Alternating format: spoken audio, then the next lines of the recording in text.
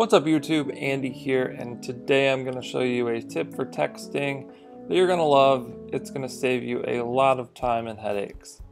So what you want to do is go to Settings, General, Accessibility, and then make sure 3D Touch is on.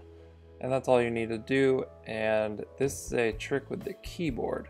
So I'm to hop over into Messages. I've already copied a message, so I'm just to paste it in there. You can paste it by tapping in the field and then hitting the paste icon. So normally um, it's hard to like, if you are typing something long and you want to move back and edit it, it's hard to get this cursor exactly where you want it. You can also do this thing and some, oh crap. Sometimes that doesn't work getting it where you want it. Um, so this trick is you can hold down anywhere on the keyboard a force touch so anywhere from where that Q is to where the return is in the bottom right, you just press your finger down and then you can easily slide back and forth, move your finger wherever you want it. You can move up or down.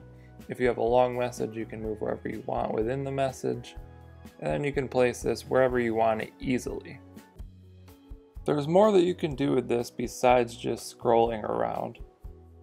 So I'm going to paste another message in here. Then you can 3D touch on the keyboard and you can scroll to any word and press in further and it will highlight that word. Press again to unhighlight it or you can double press to highlight a sentence. You can also press to highlight something and then move your finger or cursor left or right to highlight more words.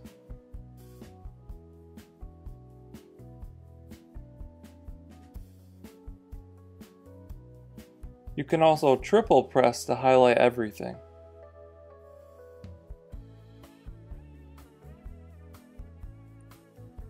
So that's it for this one. I hope you enjoyed that trick. Thank you for watching. Remember new videos every single day, so be sure to subscribe. I'll see you next time.